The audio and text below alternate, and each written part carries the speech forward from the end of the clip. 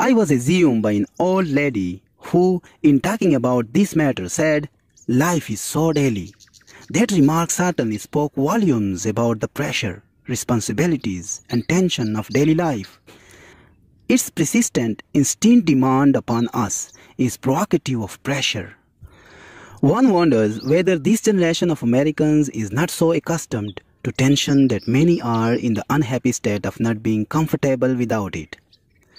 The deep quietness of woods and valleys, so well known to our forefathers, is an unaccustomed state to them.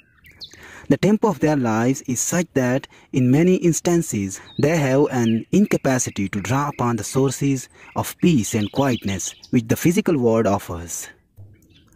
One summer afternoon, my wife and I went for a long walk in the woods. We were stopping at the beautiful lake Mohonk Mountain House, which is set in one of the finest natural parks in America.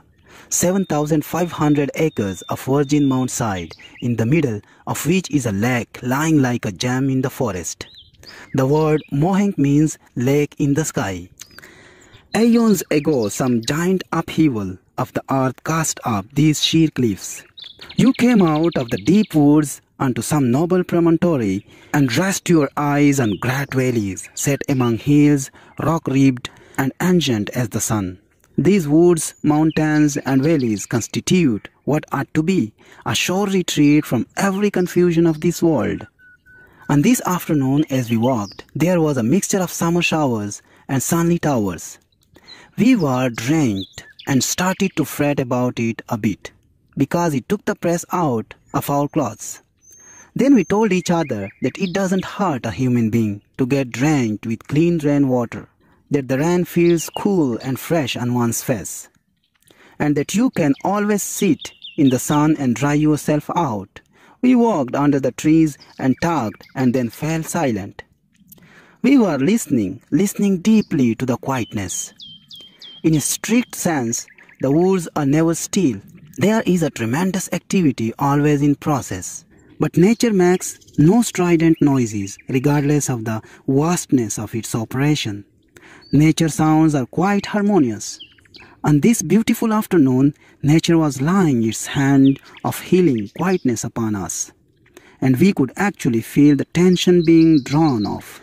Just as we were falling under this spell, the faint sound of what passes for music came to us. It was nervous, high-strung music of the jitterbug variety.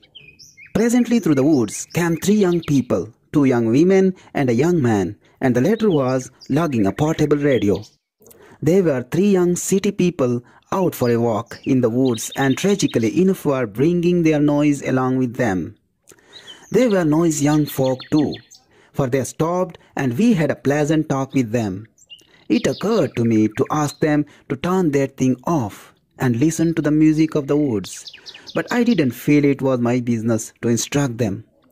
And finally they went on their way.